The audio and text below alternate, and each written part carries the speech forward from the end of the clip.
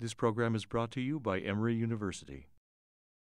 A wonderful student of mine in uh, my creative writing classes who went on to law school said um, during his uh, interviews with the law school uh, faculty, he, they asked him, well, how did a creative writing prepare you for law school? And he said, you know, uh, law is story, law is narrative.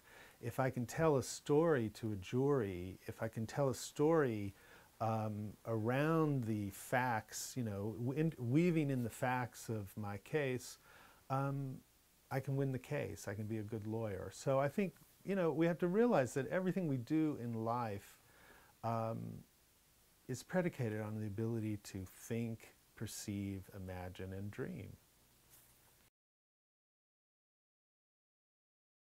The preceding program is copyrighted by Emory University.